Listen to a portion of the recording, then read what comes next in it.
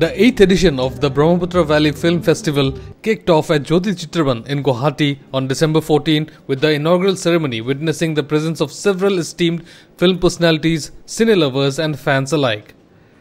Prominent figures from the film industry including Leena Yadav, Ronnie Lahiri, Amrit Pritam, Bodhisatva Sharma and Ritisha Khaund were also present during the opening ceremony.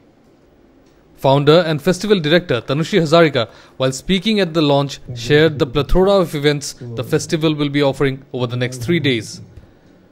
We uh, reinvented the festival in a totally different way actually. We were uh, hosting the festival in a different venue earlier, but this time we have come to Jyoti Chitraban, which is a film studio here right here. Uh, the place is really beautiful. We have three halls. We have two halls just screening movies, short films, documentaries, and panel discussions. We have another room where master classes are being held, are going to be held for the next three days. So there's a lot of addition and festival has become bigger and better. And of course, last but not the least, we have a workshop with FTII and we have a time tie-up with Amazon Prime Video where uh, they're going to be screening uh, 12 pitches from uh, you know different filmmakers who are going to be pitching tomorrow.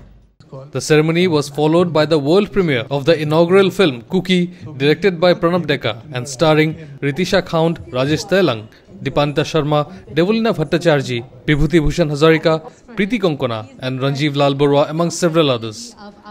Over the next three days, the festival will witness the screening of 13 feature films, 3 documentaries, and 12 short films. It will also host a number of dialogue sessions with the film personalities over the weekend. Entrance to the festival is free, welcoming film enthusiasts from the region to partake in the cinematic celebration. Don't forget to like, share, and subscribe to East Mojo. For any queries, put them down in the comments section below and press on the bell icon for notifications.